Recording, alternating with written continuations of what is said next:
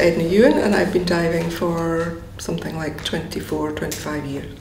My name's Andy Parks, I've been diving for about 27 years. I'm Alejandro Gallego, or Alex, because nobody can pronounce my name properly. And I've been, I learned to dive nearly 30 years ago, it's probably 27, 28 years ago. But I haven't dived continuously throughout. I think I had a spell of a short number of years when I didn't dive.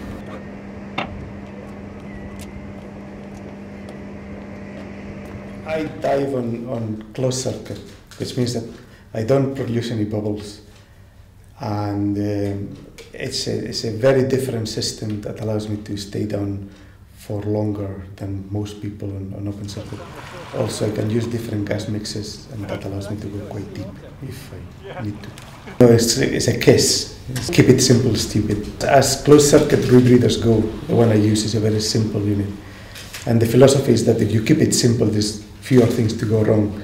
So some of them can be really complicated, and mine is very simple. But I've done in the region of, I'm coming towards 800 dives on that unit, and I've never had to miss a single one through equipment failure, which is quite rare for closed circuit rebreathers. So I'm quite happy with it.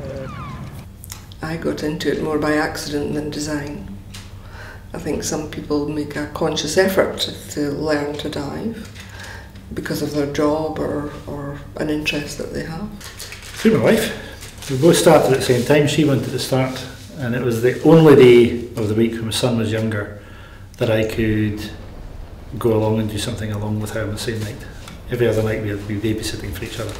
I've always loved the sea, I think, it's a great place. And you can never get the full extent of what it's like if you just look at the, at the surface. So underneath is what you have to look at. It's, it's like getting access to a totally different world um, without leaving the earth. And it's like, you know, it's a bit like being an, an astronaut, but far more accessible. You know, you don't, you don't need, need to join a NASA program to do it. You just join a club and, and off you go. Mm, I don't know that I've encountered anything scary in terms of animals. Um, some wrecks I find personally a bit scary. You get seals, which are very bold as well, so they, they can be very friendly and they come very close to you.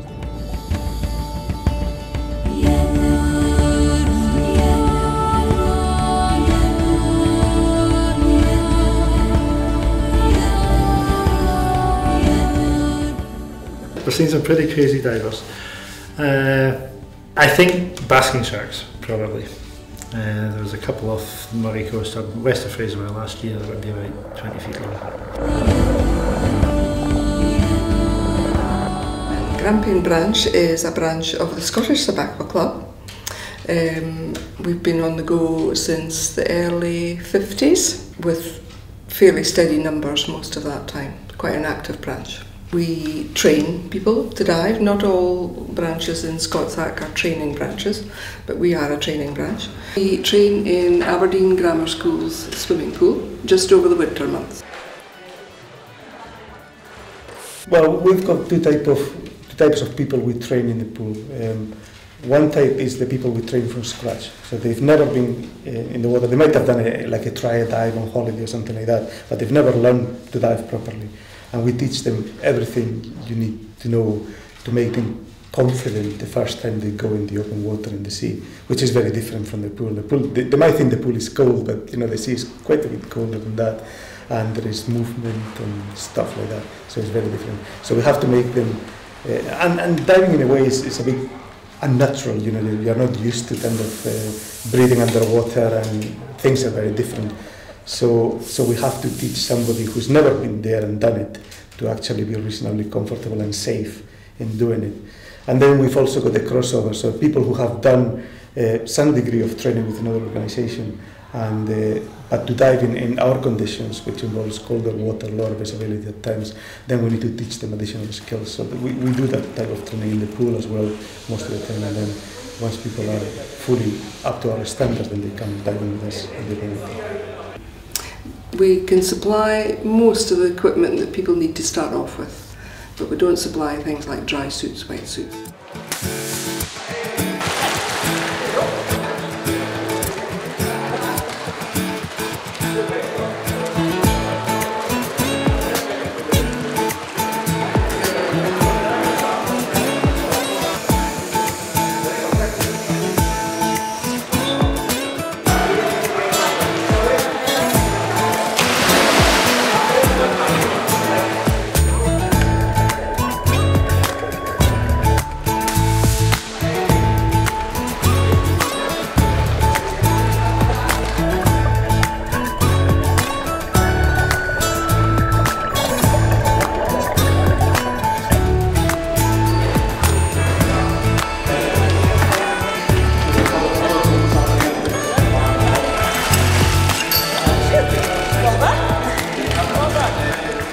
It is really good fun.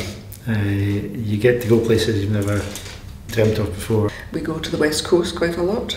We go up to the north coast of Scotland. There was a trip to the Red Sea, but um, most of our local diving is done on the Moray Firth coast.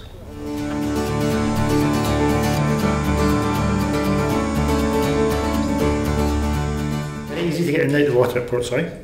And the steps go all the way in. It's a great place to take trainees.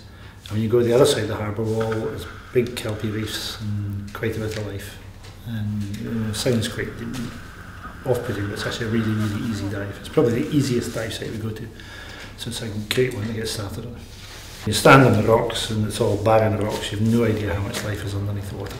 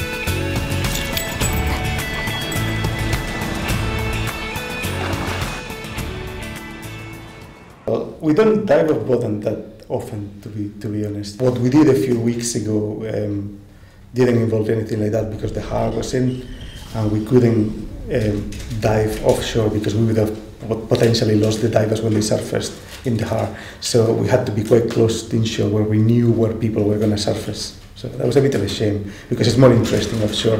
But it was it was it was the first boat dive of the season. It was very cold.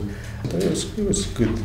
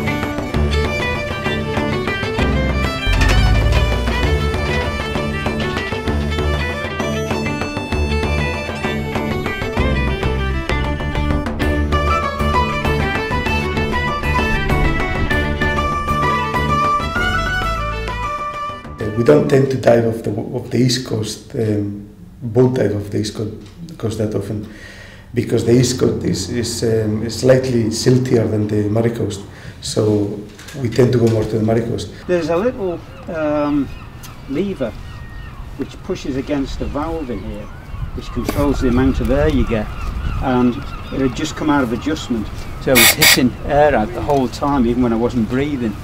So Uh, not been able to stay down very long.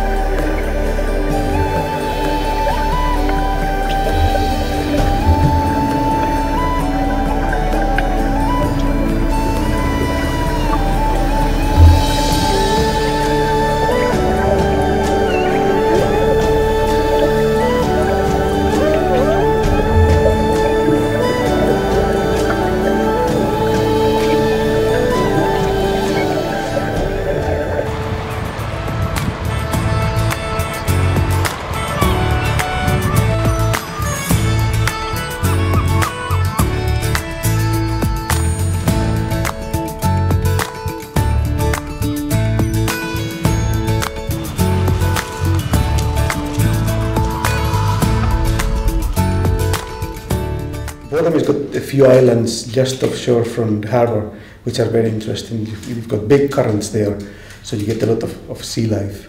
Yeah, we saw a, a flounder at the start, just by the wreck, which we all sort of picked up and took a look at. Didn't seem to mind, swam off very lethargically afterwards. We uh, saw lots of, lots of velvet swimming crabs. They were hanging around. Uh, there was the very odd wee jellyfish. There was lots of encrusting life. It's it's it's like getting access to a totally different world um, without leaving the earth. And it's like you know, it's a bit like being an, an astronaut, but far more accessible. You know, you don't you don't need, need to join a NASA program to do it. You just join a club and off you go.